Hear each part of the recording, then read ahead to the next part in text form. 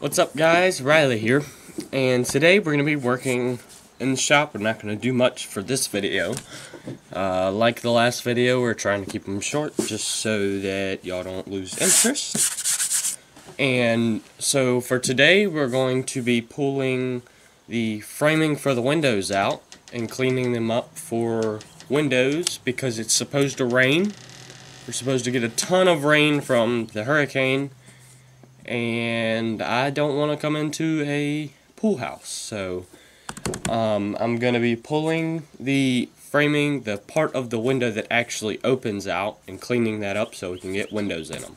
Um, so I'm going to go ahead and I'm going to get to pulling the frames off. But actually, before I do that, uh, my camera's on half a battery, and I don't want it dying while I'm videoing because that'll suck. So, uh, the workbench is kind of a mess right now. Not really kind of, it's just a complete wreck. So, while it's charging, I'm going to go ahead and get that cleaned up. Boom! About 30 minutes later, and it's nice and tidy. Got chargers. And just a few things over here. And a few things over there. So I got a nice working space for hopefully the window. So I'm going to go ahead and get into taking that off.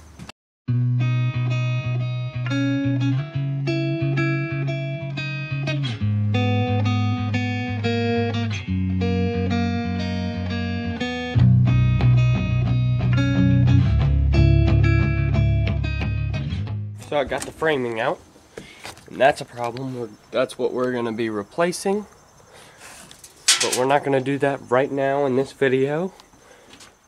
So here's the framing. I'm going to get this sanded down and I'm going to get this, all that kind of cleaned up. There's a bunch of staples because there was plastic on it. So I'm going to get all the staples out and just sand it down and get it nice and clean. Um, so the first part is I'm going to start pulling these staples out. So let's go ahead and get into that.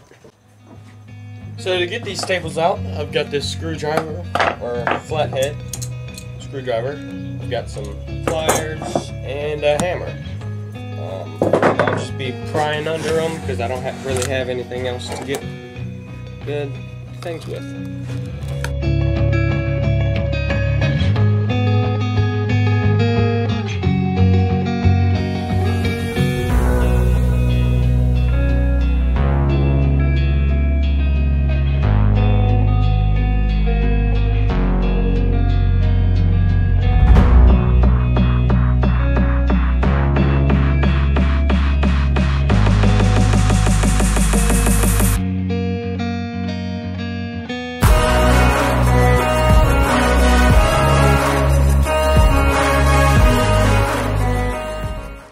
I've got the staples out. And it looks a little bit better. But we can make it look a lot more better. So, the next thing we're going to do is I'm going to attempt to get these out. But the one I did right there, um, it won't come out. So I'm going to go ahead, I'm going to attempt to get those out again. And then I might take it outside and start sanding it.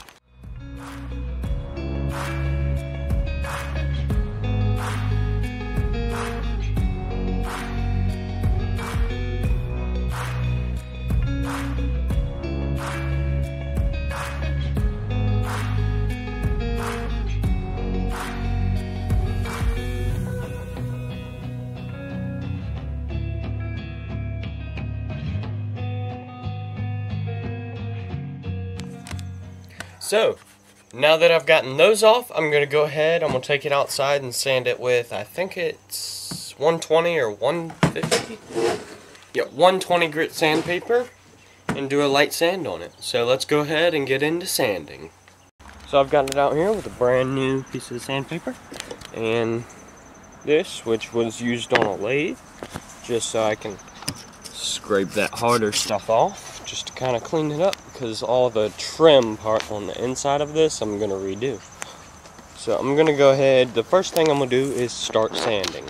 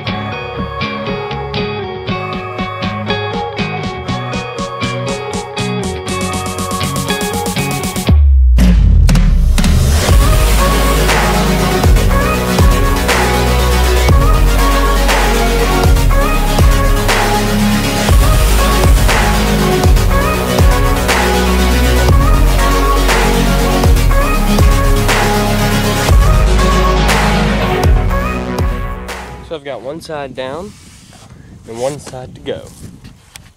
So, this is the inside of the frame, and I'm not going to sand it down to bare wood. Um, well, at least not right now. I may or may not later on, but just not yet. So the paint is in such bad shape and it's all cracked up. So I'm just going to go ahead and sand it down to bare wood. Um, one thing that I found is the handle has little designs in it. Now the other one didn't. So I don't know what the deal is there, but that's pretty cool. I might pull it off and clean it up so you can see it better.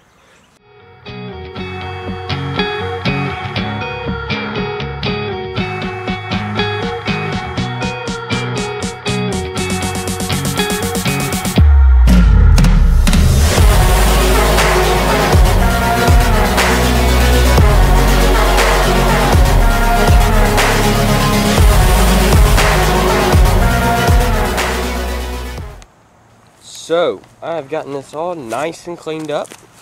Off camera, I kind of sanded down on this some, the trimming. Which, so far, that trimming's in pretty good condition. So I'm not going to get rid of this side of trimming. Um, because I actually, I don't know if it's trimming. It looks like it's cut into the wood itself. Because if you look right there, right there where the white and the wood meet, that's there's no gap to where the trimming would be. So I think the trimming's part of the wood, so I can't really get rid of it. And all I'm gonna need to do is trimming on the inside, or for this it'd be the outside, it'd be on the outside of the shop. But um, I get it all cleaned up, got all that junk off of it, and sanded down on it some, and it looks awesome. So I'm very happy that it looks cleaner than it was. And I'm gonna go and we're gonna go in we're going to go to where the window was, and there's staples on that too, so we're going to go ahead and get the staples off. Just to help with the looks, at least until we can get um, the new framing in, which may or may not be this week. So that's what I'll be getting off, all that. And there's some on the sides, but nothing on the bottom and whatnot. But I'm going to be pulling that off. You know what it looks like now. Um, there's not really enough light to set the camera down somewhere for me to video because you'll just see me prying nothing. Um, so I'm gonna go ahead and do this off camera and then I'll come back and use as much light as I can to show y'all. Boom, that took probably 30 seconds and it's that much more cleaner. Uh, I'm not gonna sand this down, there's no reason to because like I said, it's gonna have to be replaced. Um, I may or may not because this board looks super good. I haven't seen any rot. There's a little bit of paint peeling off, but it hasn't rotted. I'm wondering if maybe I can um, sand down on it some and get it back to clean wood. Maybe I can use that because then that'll be less that I have to do, less that I have to work on. So, but we're not going to worry about that now. We're going to go ahead and do what I need next. So for the frame, or the thing that opens, the actual part that opens for the window in this one, is right here. I'm going to go ahead and get everything done to that like I did to the other one for, that was for that window. Get that one all nice and cleaned up. This one's actually already sanded some, but uh, like the, the trim on the inside, I'm going to try and do the same thing, clean it up just a little bit more just to help. So I'm going to go ahead and do that. So, there's the one I've mostly been working on, and there's the other one. I've gotten this one as clean as I can get it. I already had done this, and it's got linseed oil on it, that's why it's so dark. And I got the sides cleaned up. Now, there it's very dusty, because this one, whatever that was they used for trimming was like way harder. It was kind of like a rock. So I used the saw to cut it off. I just kind of butted it up against the wood on this side of the wood and on the bottom and then cut. So that's as clean as I can get it right now. Um, now I'm going to linseed oil the other side of this because I'm not going to do the inside. I don't exactly need it. I'm gonna do the outside because it'll mostly need it on the outside. So I got the linseed oil all ready and I'm gonna go ahead and get it done.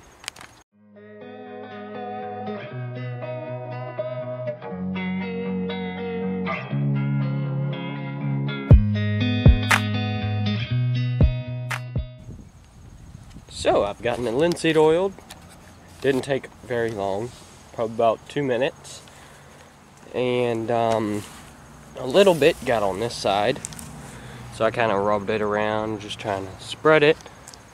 And um, if I sand it down, it should get away, get some of the color down. And if it gets enough, I might linseed oil this side down, just to be safe. But I really like that color, so. But this one, it's got a bunch of dust on it.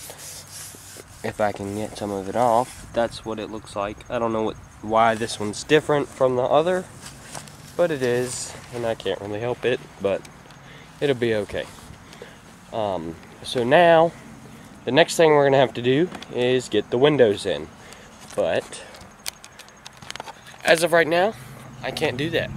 So me getting the windows in will be in this video, which you're about to see but um, I'll have to wait. So I'm gonna put the camera down and y'all will see when I put the windows in.